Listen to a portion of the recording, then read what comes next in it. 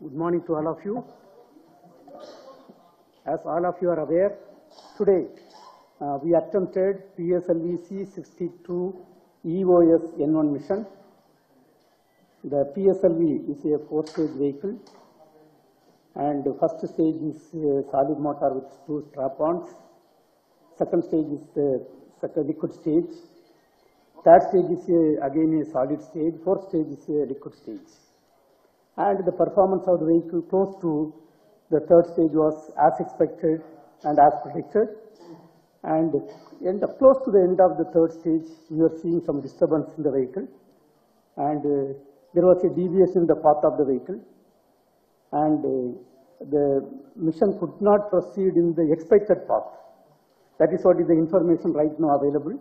Now we are going, going through the data and we have to get the data from all the ground stations.